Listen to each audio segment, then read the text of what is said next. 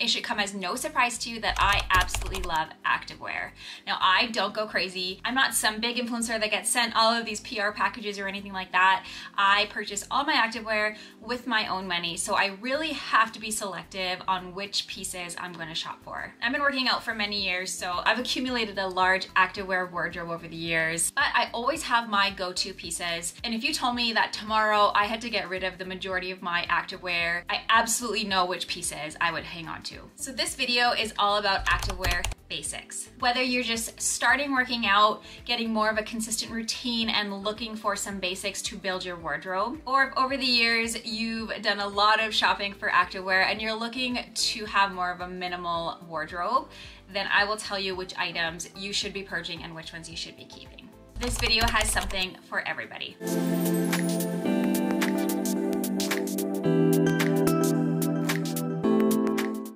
Everyone, welcome back to my channel. I am so happy you're joining me today. I have a very exciting video for you. If you're new here, it's so great to meet you. I post all types of content, wellness, fitness, self-care, and I love posting reviews on bathing suits, fitness wear, all the fun things. There is absolutely nothing wrong with having a huge fitness wardrobe and shopping every single drop that different brands have. Like if your closet is huge, I love that for you. I think the majority of us, myself included, can't afford to be shopping every drop. We don't have the room to store the fitness wear in our closets. Like seriously, I can't afford to be shopping every single drop props to all these marketing companies. Like they are working overtime marketing a new drop. I feel they do such a great job with their social media, on their website, really making each drop feel unique exciting, something that you have to have. But through the years, I've realized that buying trendy pieces and what's popular for that time, then it's not something I can wear year after year. I'd also like to say that lots of people shop for dupes of some of the high-end brands, and I think this is fine as well. But keeping in mind, if you're building a basics activewear wardrobe. You want something that you can probably wear every single week and wash every single week. And some of those dupes will end up pilling, ripping, and actually loosening up in some of the wrong places. Sometimes it is good to invest in some basics that are a little bit more high end that you know are going to be good quality. And the pieces I'm gonna show you today, some of them I've had for many, many years and they look just as good as when I unpackage them. I also would like to say that the basics I have for my wardrobe is based on the climate that I live in. I live in Calgary, Alberta, Canada, where six months of the year, it's quite chilly. You're gonna wanna wear leggings. Two months of the year, you're actually freezing your ass off. And in the summer months, it is so hot that you need shorts. So I need a variety of activewear options. I need lots of layering options. But if you live in a generally warmer climate where the temperature doesn't fluctuate too much, then your basics might be a little bit different than my basics. Let's get into it.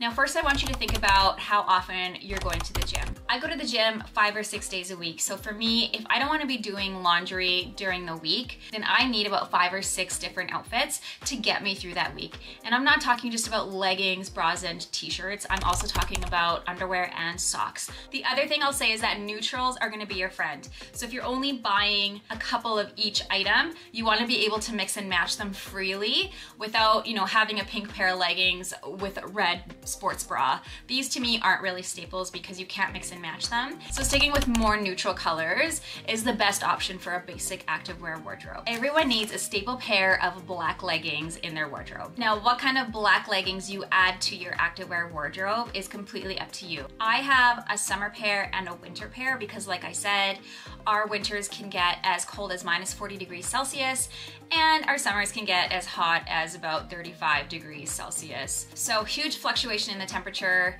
I love black leggings, they're so versatile, not only for in the gym, but for casual as well. So if you're looking for a good compressive, thick black legging because it's wintertime and you're trying to stay a little bit warm in the gym, or maybe it's because you're going to the gym on the heaviest day of your cycle, I always reach for my Oner Active Classic 2.0 Seamless leggings in black marl. I absolutely love these leggings. They're super, super thick, so they keep me warm. They're 100% squat proof. They are nice and compressive. They don't move or shift when I'm working out. I do wear size extra small in these, and that is my true size. I'll put all my measurements in the description box below, and you can get a short or a regular length. I generally wear a regular regular or tall length based on my height, but if you're a short gal, they also have a short as well. Again, I wouldn't say it's the cheapest legging, depending on where you live. In Canada, you do have to pay duties for it to get shipped from the UK, but if you're in the UK or somewhere else where you don't have to pay, that is a re really affordable legging, and I highly recommend it if you're looking for a thicker black staple legging. Now, if you live in a climate that is much warmer than where I live in Calgary, then you probably don't want a legging as thick as that because you will get quite warm unless your gym is heavily air conditioned. So the black legging that I choose to wear in the summertime or even if I am working out on the heavy day of my cycle, I always like to wear a black legging on those days. I go with the Gymshark Legacy leggings. So these ones, Again, seamless, really comfortable. They're not as compressive, but really, really stretchy, really, really thin, kind of more of a sleek material. So it doesn't show any dog hair, which is great because that is something you need to look out for if you do have pets. And I find I can wear these leggings on a weight day or a cardio day, or I could even wear them with an oversized t-shirt for a more casual look if I'm out running errands. Now I know some people don't like huge logos when they're wearing their leggings for casual. So my third black staple legging I have are my Alo Yoga leggings. I absolutely love these. I will tag my Alo video here so you can hear all about them. Super, super brushed material, really, really soft. I've worn them at the airport, on the airplane. I've worn them for travel. I just, I think they're really, really great leggings, really versatile. They definitely are a higher price point, but I've worn these multiple times and there's no pilling. The only thing I'll say is that it is more of a brushed soft fabric, so the dog hair does show on these. I'm always making sure that I'm kind of dusting off my butt so that I'm not walking around with dog hair on my ass. Three different types of black leggings. Do you need three different types of leggings? Absolutely not. However, like I said, my thick black legging I don't necessarily want to be wearing in the summer or out running errands because it is quite compressive. And the Gymshark ones do have the big logo in the back. It is nice to have a more casual legging without a logo. Obviously, people love Lululemon Align leggings. I don't love them for myself and my body type. I just find that they don't look as flattering on my glutes and I'm constantly pulling them up at the waistband, but I know a lot of my friends swear by them. Again, a more expensive price point, but they will last you a long time. Next up, we have sports bras. Now, what color sports bras you choose to have in your activewear wardrobe is totally up to you. There are so many amazing, cute, different colors and styles out there. But I think it's really important again to stick with something neutral. Now if you're only gonna be wearing black leggings, then what you're wearing up top doesn't really matter. But if you're gonna want to mix and match these sports bras with some colored shorts in the summertime, then neutral is your best friend. Also, I like to point out, and I say this in every video, I don't know how this became a thing that I say this in every video, I don't have any boobs, so I don't really need to look out for low impact versus high impact. I know this is a thing though. If you have cardio days, you need to wear a high impact bra. And for weight training, you can be a little bit more loosey and free. For me, it really doesn't matter. Nothing moves at all. Like I barely need to wear a bra as it is, but that is something you might want to think about, a low impact and a high impact. Now, a couple sports bras that I have been loving and I find that I can reach for no matter what bottoms I'm wearing. I have the Nike sports bra, and I'm sure you've seen this one. It's quite popular. It's just a regular racer, and it does kind of have some fun mesh detailing on the side and in the center here. Again, it can be high or low impact for myself. I just find it's really, really comfortable. I just slip it on right over my head and it's fairly inexpensive. It's lasted me forever. I actually was looking for it in white as well, but it was sold out in my size. Even if I pair this with one of the black leggings with a shirt over top and I get too hot in the gym, I can pull my shirt off and I'm just wearing black on black, which is totally fine. A more expensive option that I also have is a Lululemon Flowy adjustable bra. Now I don't wear Lululemon leggings because I don't find that they fit my body type, but their bras do fit me really well. So if you do have a small bust, I highly recommend checking out Lululemon. Look out for their sales. I rarely buy anything full price Really like this one. It is, it does slip over my head, but there is a black um, eye hook closure as well. And again, it's a low impact bra, but for me, I can wear it high impact. And I just find I reach for these bras the most. As much as I love a cute white sports bra, I just can't really find one that works for me. Although today to the gym, I did wear my new white Halara sports bra and I did get so many compliments on it. So I will be adding that to my rotation. But again, just a neutral sports bra that I can wear with any color bottom. All right, let's talk shorts. Now shorts, in my activewear wardrobe are the only piece of clothing where I go crazy with color. It's summertime when I'm wearing shorts and I think it's just so fun to have a pop of color. For some reason, I find it way easier to wear like a bright colored short than a bright colored legging. Just seems like a lot of color because I have quite long legs. If you live in a warm climate and wear shorts year round, probably just wanna stick to neutral or at least have one or two neutral colors to mix and match. But for me, I only wear shorts a few months of the year and I love me some color. I'd say the two different styles that I reach for most this summer both happen to be Gymshark. I have the Gymshark Sweat Seamless in this Galaxy Purple color and it is amazing. And it doesn't roll, it doesn't move, it doesn't dig. These are my go-to shorts for the summer. I generally would match this just with one of my black sports bras and oversized tee over top. If I'm feeling really spicy, I'll just wear my sports bra and take my tee off. So yeah, for a thinner short on a cardio day where I'm gonna be sweating a lot or on those days where it is actually, you know, 35 degrees Celsius, then I'm going again with the Legacy, but these are the shorts. So I love, love, love these. Again, they're not as compressive, but they don't dig anywhere. They don't roll up. These are what work for me. Now, shorts. Shorts are such a specific thing. I have many, many friends in the gym that even in the summertime refuse to wear shorts and that's totally fine. It's not because they're embarrassed about their legs or anything like that. They just find it uncomfortable. You have to find the length of short that works for you. It is all dependent on your body type. Some girls can wear four inch shorts and not have any issues with camel toe or with it riding up. Others need to stick with a five or six, which is slightly longer, which is what I wear and I found works for me.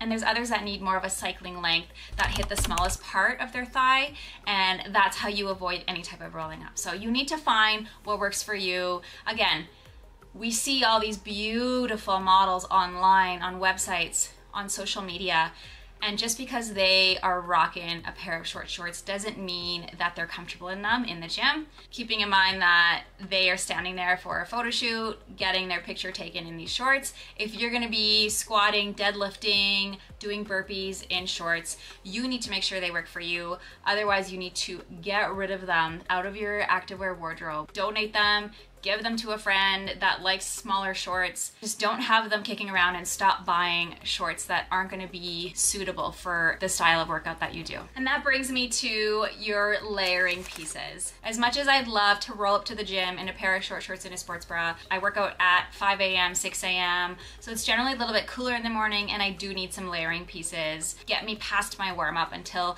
I can either remove it or if it's thin enough, I just leave it on for the entire workout. You can go with some colored pieces here, but I like to stick to neutrals. Again, because I like colored shorts, then sticking with a white or black t-shirt I think is just easy. I'm not struggling to match my clothing in the morning. It's all just really simple. A couple options that I love. I have the Gymshark oversized tee in white. I love this. It is a thicker shirt. You actually can't see through it, which is amazing. So I can pair this with my shorts if I'm feeling like my shorts are a little bit too short, I can throw on this oversized tee with a black sports bra underneath. I'm good to go. And then if I do get too hot, I can take that oversized tee off.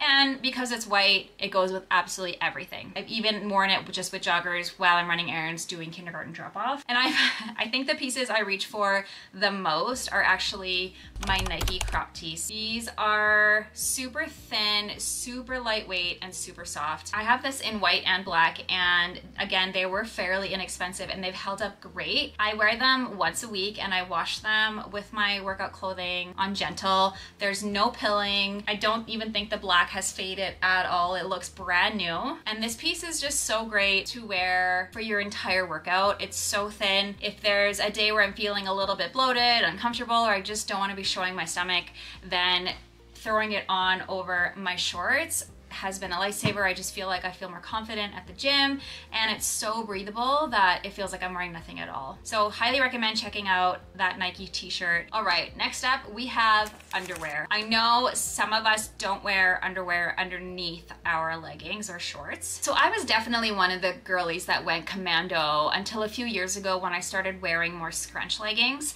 Then I found that there was no mystery about what was going on underneath those leggings. Like you could see everything. So I started doing my research on seamless thongs that I could wear underneath my leggings, no show thongs. And I tried many, many different kinds. And I finally found the best kind that works for me and my body type, where it feels like I'm basically wearing nothing at all. And I don't know how to say the name of them, but they are just from Amazon. I honestly have 20 pairs of these. They're very inexpensive. They're very, very soft. I did size up, so I did get a small because I didn't want this to be too tight. And then, you know, when you have like the roll, I just didn't want that to be seen underneath my leggings because then it's not not technically no show, but highly, highly recommend these. Now I just wear black because I have dark skin. I know other people need to wear the closest to their skin color, so these do come in a nude. I believe this is a nude or maybe there is a darker, but yes, for me, I just wear black. And like I said, you're gonna wanna have enough seamless thongs to get you through your week so that you're not having to do laundry all the time. Next up we have socks and I think socks are so particular for the person.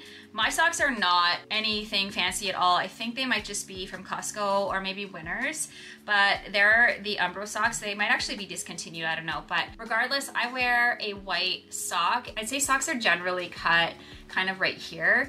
And there's nothing worse than when your sock starts to roll down in your shoe. I hate that so much. Maybe it's just the kind of foot I have or the shape of the foot, but I like my sock to come slightly higher up. I also have quite a few pairs of crew socks as well that I'll wear mix and match through the gym. Now, I always like to wear a cushioned sock, something that is gonna be good for jumping, running, that type of thing. But generally for a weight day, you don't need a lot of cushioning in your sock. I just don't like to have different socks for different days. So I just wear the same style of sock regardless of what workout I'm doing. Now, I didn't even want to comment on shoes, but obviously shoes are part of your basics for going to the gym. Again, I think this weird culture that we're in tells us that we need multiple pairs of shoes.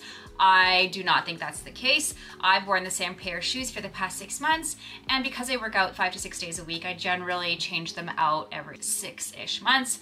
If you're running or doing a lot of jumping, high impact, then you might want to change them out a little bit quicker, and you'll be able to tell right away when they need to be changed out. If you're starting to notice, you know, pain in your ankles, not enough support. Been obsessed with the Lululemon Strongfeel shoes. I've worn them for about six months now and I go to F45 and I wear them as my hybrid shoe. I find they have enough support for my weight training as well as my cardio days. They feel really stable for both. Now I have narrow feet so it has very good ankle support and I have been loving these. So if you haven't checked out the Lululemon shoes before, I highly recommend it. I believe they also have like a guarantee period where you can wear the shoes to your gym for 30 days and if you don't like them, you can return them. So definitely take advantage of that. When I first got really big into weight training, I was wearing Nike Metcons these are more of a flat shoe and I found them to be really stable for doing squats and deadlifts and whatnot, but not as good for a cardio day. So I just didn't want to have two different pairs of shoes going to F45. So I have one shoe and when I feel like they're going and I need more support, probably just gonna rebuy the same shoe. All right, last but not least are accessories. Nothing that you need to buy. Just because you see someone at the gym or someone on Instagram with something doesn't mean you have to go buy it. Only accessory that I use would be my gym bag, if you count that as an accessory. Did just replace my old gym bag because the lining ripped inside and all my stuff was like falling inside, if you know what I mean. I don't buy things that I don't need. I don't have multiple gym bags or anything like that. I buy something that I like, I wear it until it's broken or ripped, and then I buy a new one. So I did purchase the Oner Active mini gym bag, which I love because it fits my shoes, my keys, my phone, my wallet, an extra pair of socks, my chapstick, and I'm good to go. I don't need anything large. I don't need anything excessive. I love this gym bag so much, but I know a lot of people that literally just carry their shoes and water bottle into the gym. They don't even have a bag. So you don't even need a bag if you don't want it. All right, there you have it back to basics. What you didn't see in my basics wardrobe is crazy patterns, crazy styles. That's not something that I consider to be basic. It's not something that I consider to be what you can wear for many, many years. Sticking with classic styles, classic colors is gonna be your friend. Something that I love to do if you are considering downsizing your closet is keeping something in your closet for a full season and if you did not touch that item, it's time to donate. Like I said, I reach for these pieces week after week. I wash them week after week. There's pieces sitting in my closet that now that summer has passed, I know it's time for them to be donated. And there we have it. I hope this video was helpful for you. I hope you recognize that just because a brand you love is doing drop after drop after drop doesn't mean you have to be emptying your wallet. If there's something you love, 100% buy it treat yourself. But don't go crazy, don't go overboard, stick with the basics, stick with the pieces that are gonna stick with you long term. If you like this type of content, be sure to hit that thumbs up. That way it can tell the algorithm to share this video with other like-minded individuals. If you wanna be part of the family, be sure to subscribe. I appreciate all your love in this video and all my past videos, and I can't wait to see you in my next one. I hope you have a great day, and bye for now.